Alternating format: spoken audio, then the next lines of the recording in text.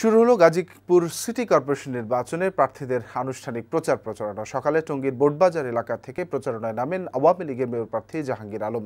আর কোনাবাড়ি এলাকায় প্রচারণা শুরু করেন বিএনপির প্রার্থী হাসান উদ্দিন সরকার। নতুন তফসিল অনুযায়ী আগামী ছাব্বিশ জুন হবে ভোট গ্রহণ গাজীপুর প্রতিনিধি খায়রুল ইসলামের তথ্যচিত্রে ডেস্ক প্রতিবেদন। গেল পনেরোই মে গাজীপুর সিটি কর্পোরেশনের নির্বাচনে হওয়ার কথা থাকলেও সীমানা জটিলতা নিয়ে এক রিটের প্রেক্ষিতে তা স্থগিত হয় হাইকোর্টে। নতুন তফসিল অনুযায়ী সোমবার থেকে আনুষ্ঠানিক প্রচারণায় নামেন প্রার্থীরা।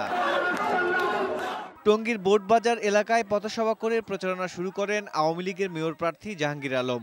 এ সময় তিনি এলাকার উন্নয়নের জন্য জনগণের ভোট প্রার্থনা করেন। আমি মনে করি এখানে গাজীপুরের মানুষ শান্তিপ্রিয় অবস্থায় আছে ভালো অবস্থান আছে মানুষ নৌকাকে ভোট দিবে।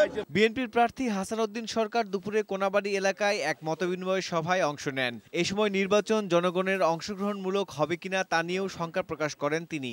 ভোট কাস্টিং যদি ফ্রি অর্থাৎ মানে তাল বাহানা তো কোনো লটর বটর না করে। তাহলে সিক্সটি সিক্সটি ফাইভ সেভেন্টি পর্যন্ত যাবে।